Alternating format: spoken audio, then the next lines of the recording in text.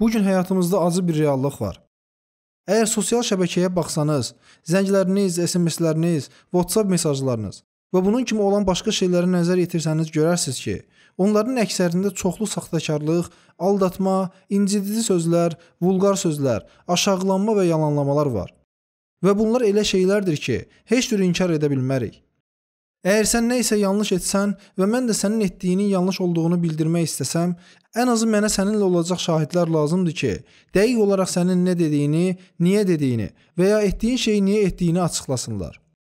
Belə hallarda ilk addım isə kömək etmək, yol göstərmək, münasibət qurmağı bacarmaq və xeyir vermək olmalıdır.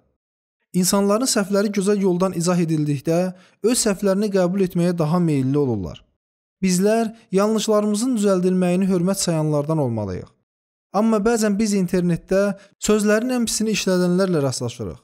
Muhammed peyğəmbər sallallahu alayhi və səlləm demişdir: Bilirsinizmi sizlərin arasında ən yaxşısı kimdir? Müsəlmanların ən yaxşısı o kəslərdir ki, dillərinin və əllərinin şərlərindən başqaları zərər görmürlər. Yəni əgər sən yaxşı müsəlmansansa, dilin heç vaxt başqalarını incitməyəcək.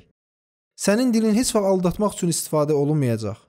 Əgər yaxşı müsəlmansansa, sənin əlin heç vaxt zərər vurmağa istifadə olunmayacaq. Bunlar bir kimsəyə hər hansısa şəkildə zərər vurmaq deməkdir. Yəni siz onlara zərər vurursunuz. Sizin hərəkətlə incitməyiniz sözlə incitməyiniz kimidir. Düşünün ki, Muhammed peyğəmbər sallallahu alayhi və səlləm 14 əsr əvvəl fiziki incitmək və sözlə incitmək haqqında danışıb. İnsanlar bir-birlərini emosional, fiziki, sözlü, sosial, maddi şəkildə istismar edirlər.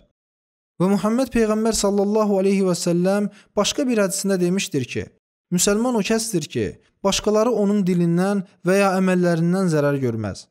Məs bu qayda bizi insanların ən yaxşısı edir. İndi isə özündən soruş.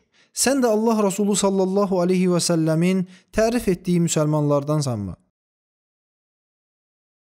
Bu tipdə daha çox video üçün YouTube-da Bəyyinə kanalına abunə olmağı unutmayın.